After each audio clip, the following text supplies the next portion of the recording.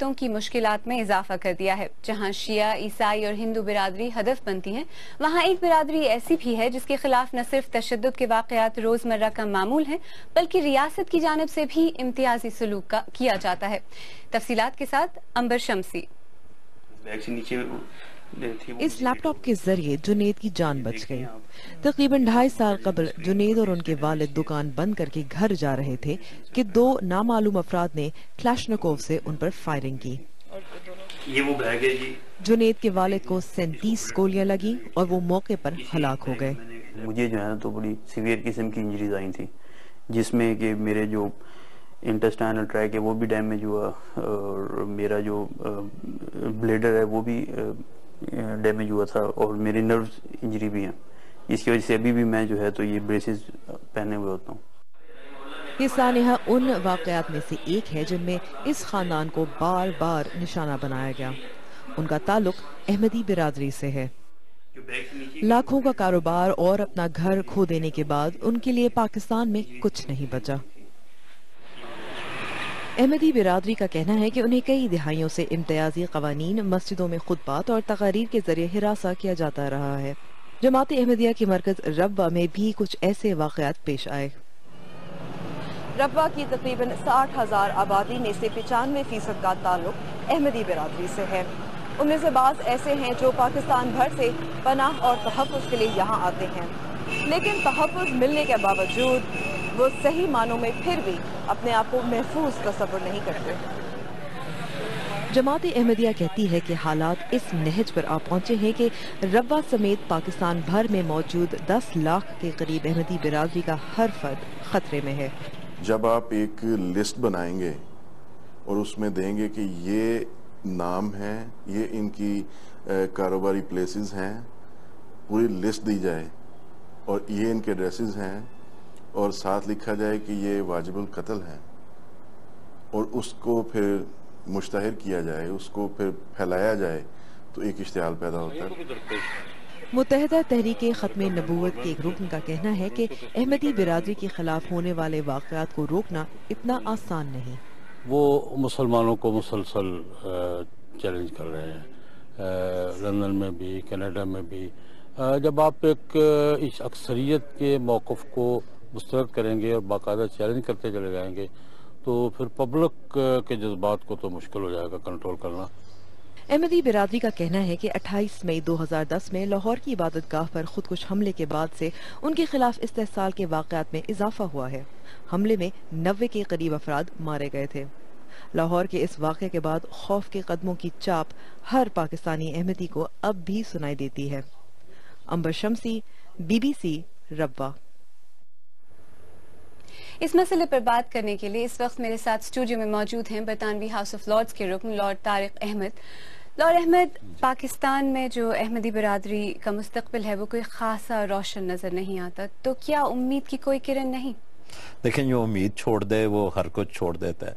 तो जहाँ तक अहमदी मुसलमान कम्युनिटी का अपना सवाल है वो उम्मीद तो अपनी हमेशा कायम रखेंगे। बाकी दुआ के बाद सियासतदान की तरफ़ वो फिर उनकी ज़िम्मेदारी होती है कि वो क्या तब्दीली ला सकते हैं।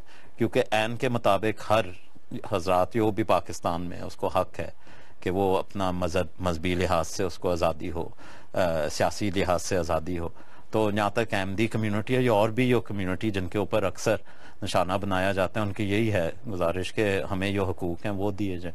जी आप इंसानी हकूक के हवाले से भी पाकिस्तान काफ़ी जाते रहते हैं। वहाँ सियासतदानों से हुक्मरानों से मुलाकातें करते रह, रहते हैं। तो आपका क्या ख्याल है? जो वहाँ सियासी इस्टेब्लिशमेंट है या सियासी सतह पर इस मसले को क्या संजीदगी से लिया जाता है? लेकिन यहाँ तक इस वक्त अगर आप सूरत हाल पाकिस्तान का इस वक्त देखें क्या है मुस्तबिल पाकिस्तान का? इस वक्त सियासतदान जो हैं क्या सोच रहे हैं? ठीक है एक बरतानी हुकूमत के एक इंसानी नुकते से हम हमदर्दी के हैसियत से पाकिस्तान की मदद करते हैं और करते जाएँगे बहुत ज़रूरी है। मगर ये पाकिस्तानी सियासतदानों की ज़िम्मेदारी है कि वो देखें कि अवाम पाकिस्तान की वो सही मैनों में नुमाइंदगी कर रहे हैं। अगर आप देखें एमदी कम्यूनिटी के साथ हुआ है ईसाई कम्यूनिटी के साथ हुआ है हज़ारा कम्यूनिटी के ये किस हद तक कहाँ ख़त्म होगी ये बात? तो क्या पाकिस्तानी पोलिटिकल इस्टेब्लिशमेंट में एक सीरियसनेस है इस मामले को लेकर क्या वो संजीदा हैं इस मसले को हल करने के लिए? यहाँ तक अहमदी इशू है मैं, मैं नहीं समझता कि वो इस रंग में ये ब्लास्फमी लॉस का यहाँ तक है कि इसमें तब्दीली आए। मगर अगर आप कम्युनिटी जाए कोई फर्द हो पाकिस्तानी। उसका बस ये गुजारिश है कि हकूक जो है सियासी रंग में दी जाए और इंसानी रंग में जाएँ। और अगर आप अहमदी कम्यूनिटी की भी मिसाल देखें, उनने कभी कोई पाकिस्तान के ख़िलाफ़ बात नहीं की, पाकिस्तान के अवाम के ख़िलाफ़ बात नहीं। हमेशा पाकिस्तान के अच्छे मुस्तबिल के बारे में सोचा है और दुआ है। ये बताइए कि जो बैन अवी बिरादरी है वो क्या कर सकती है? क्या ये पाकिस्तान का अंदरूनी मसला है जिसपे कोई बात नहीं की जा सकती या फिर आगही के ही हवाले से कुछ कर सकती है बैन अवी बिरादरी? बिल्कुल कर सकती है। अब आप देखें कि अगर ये दहशत गर्दी की आप मिसाल ने ये जो इस्लामी एक्सट्रीमिज्म जिसको कहा जाता है ये दुनिया भर में दहशत गर्दी फैल रही है। और अगर इसको रोका नहीं जाएगा इसको जो बुनियादी तौर पर यहाँ इसकी जड़ है, उसको रोका नहीं जाएगा, फिर यह चीज़ फैलती जाएगी। तो इंटरनेशनल कम्युनिटी पहचानती है इस बात को, मेरी अपनी हुकूमत, अमरीकी हुकूमत, दुनिया भर में लोग ये देख रहे हैं कि इस चीज़ को रोका जाए और किस तरह रोका जाए। और ये अफसोस की बात है, कोई ऐसी जगह है पाकिस्तान में, यहाँ ये चीज़ जड़ रखती है और इसको ख़त्म करना सब कम्युनिटी की ज़िम्मेदारी है। तो बरतानवी हुकूमत क्या कुछ कर सकती है एड के हवाले से या पाबंदियाँ लगाने के हवाले से पाकिस्तानी हुकूमत को कुछ करने पर मजबूर करे? क्या ऐसा कुछ सिर्फ़ हुकूमती मजबूरी नहीं यहाँ तक एड का वो एक बिल्कुल अलग है। मैं समझता हूँ बिल्कुल मुनासिब चीज़ है। इंसानी एड के लिए ना कोई कंडीशंस नहीं होनी चाहिए। हम अगर एक इंसानी रंग में ब्रितानी हुकूमत पाकिस्तान के अवाम की मदद कर रहे हैं, वो हमेशा जारी रहेगा और मुझे फ़ख्र है कि ब्रितानी हुकूमत आगे है इस रंग में। जहाँ तक बाकी चीज़ें हैं, यहाँ तक ये दहशत गर्द हैं, ये जो इम्पोर्टेड एक्सट्रीमिज़म है, उसके लिए यहाँ रूल्स और रेगुलेशन इमिग्रेशन में ऐसे हैं, जो मसाइल और इनको हम, मसाइल को इन उम्मीद हम रखते हैं कि हल कर सकेंगे। लॉर्ड तारिक अहमद हमसे बात करने का बहुत शुक्रिया। शुक्रिया इस मौजू पर हमारे नाजरीन क्या कहते हैं? नौशीन? आलिया हमें काफ़ी थॉट प्रोवोकिंग मैसेजेस मिले हैं। सैयद महमूद हुसैन गर्देजी कहते हैं मुल्तान से कि पाकिस्तान में एक खास मकतब फ़िक्र के लोगों ने अहमदी बिरादरी के लोगों के खिलाफ इतना मवाद शाये किया है कि ना ख़त्म होने वाली नफरत का एक तूफ़ान खड़ा हो गया है। मजहबी इंतहा पसंदी ख़त्म नहीं हो सकती। और शाह मुराद गवादरी कहते हैं, जिस मुल्क में उनकी जिंदगियाँ महफूज नहीं तो एक ही रास्ता बचता है कि वो मुल्क छोड़ के चले जाएँ जबकि चिराग दीन कहते हैं कि जो ममालिक हिंदुओं, ईसाइयों, यहूदियों के हैं, वहाँ अगर मुसलमानों को तकलीफ़ है तो क्या वो वहाँ से निकल जाएँ? और इमरान खान कहते हैं, इस्लाम इस्लाम का मतलब तो अमन है, हैरत है उन मुसलमानों पर जो कत्ल की बात करते हैं और समझते हैं कि इस्लाम की खिदमत कर रहे हैं आप बीबीसी